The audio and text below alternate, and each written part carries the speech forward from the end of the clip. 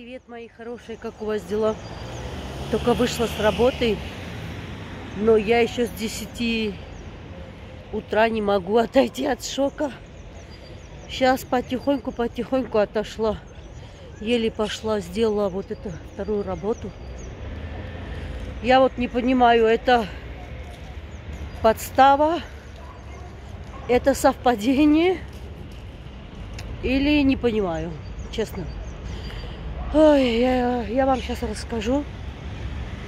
Сейчас жду, пока мне позвонят с полиции. Сказали, что могут и позвонить э, в 9 вечера, что я должна встать и пойти открыть дверь. Значит, э, две моих хозяек, э, которые оставили мне ключи, они уехали пятницу в Майорку. И особенно эти мои самые любимые, которые вот все, все время находят мне работу, даже эту работу консервы нашли они, да. И основную всю работу они мою находят. Я должна была вот завтра убирать, ну это мои халтуры, убирать у сына, а четверг или пятницу у нее. А сегодня так получилось, что через соседа я узнаю, что обчистили квартиру.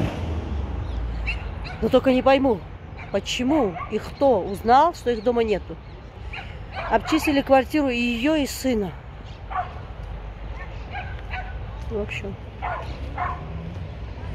как было, сейчас я вам расскажу. Значит, сосед напротив ее э, говорит Алина, когда он спускался на работу, говорит Алина, я позвонил, в общем, э, сеньоре и сказал, что у нее свет горит. Она сказала, что, видимо, Алина пришла и забыла выключить свет. Он говорит, так что, если что, поднимайся, выключай свет у нее там. Я говорю, а я не поднималась, я еще у нее не была, я собираюсь идти. Он говорит, ну, а я с ней говорила, а она говорит, что света не было. Она не оставляла никакого света. Я говорю, ну, может, просто она забыла? А он мне говорит, ну, дело в том, что в воскресенье не было никакого света. Я говорю, как это? В воскресенье не было света, а вчера ночью уже был свет? Говорит, да. Говорит, сын тоже ж уехал? Говорю, да.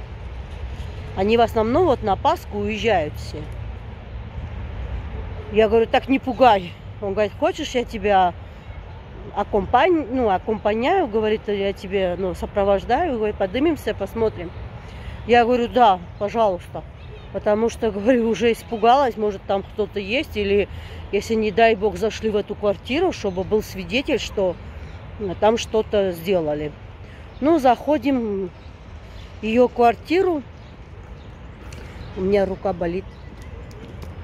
Ай, Значит, сейчас э, руку подержу вот так. Значит, это, в зале все нормально. Идем вперед. Э, где ее спальня, короче, там все тумбочки открытые, все эти коробочки открытые, все на полу, все шкафы открытые. Короче, все двери закрытые. Думаю, откуда же зашли? Неужели они зашли патио де Люсес, да, вот это через, из Испании есть патио де Люсес, и у нее открыто было окно на третьем этаже, э, где у нее стиральная машинка. То есть через стиральную, вот это балкон зашли стиральную машинку, зашли ту комнату, где у нее вещи дорогие. Не, не знаю, взяли, не взяли. Э, все открыто. Все, все, шкафы открыты. Кошельки открыты, короче, там сколько кошельков было. И она мне говорит, Алина, ну посмотри, черный ящик тронули. Я смотрю, они даже, да, видимо, не знали, где черный ящик. Я говорю, там вроде не открыто черный ящик. И в это время говорю, ну, этому мужчине говорю, блин, я говорю, а, а у сына ключи тоже у меня. Раз здесь открыли, говорю, если вам не тяжело, поднимемся, посмотрим, может, у сына тоже что-то, говорю, хотя не верю. А сын живет вообще на последнем этаже. Говорит, ну давай, поднимаемся. Я открываю дверь, везде свет горит, так как они спускают персиану, да, жалюзы. Я была в шоке. Заходим, все компьютера стоят, телевизор большой стоит. Все стоит. Заходим в спальню, то же самое. Искали что-то в шкафу, все эти ящики открыли. Видимо, бижутерия им не понадобилась, бижутерию не брали. Они искали деньги и золото. Конечно, я этому мужчину говорю, не трожь ни двери, не трожь ничего. Э, давай вызываем полицию. В общем, вызвали полицию, пришли, посмотрели. Я себя плохо чувствую, потому что ключи-то у меня. Я-то знала, что их нету дома.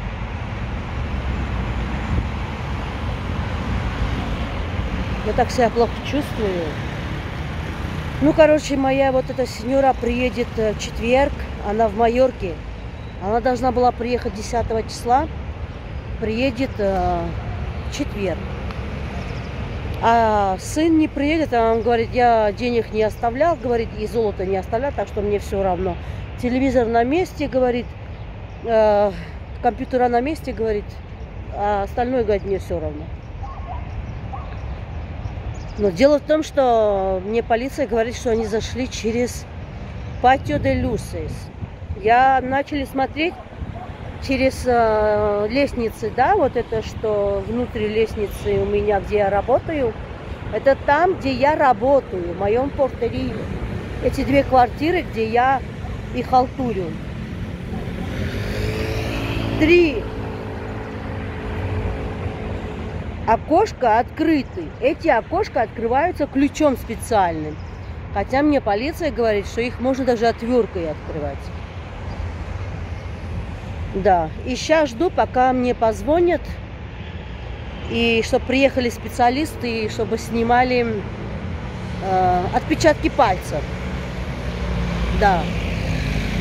И дело в том, что сыну зашли, не знаю как, но получается через кухонное вот это окно зашли. Представляете, это атику. Лучше бы он или она, кто там зашел, Лучше бы упал бы, честно. Чтобы в следующий раз бы не зашел.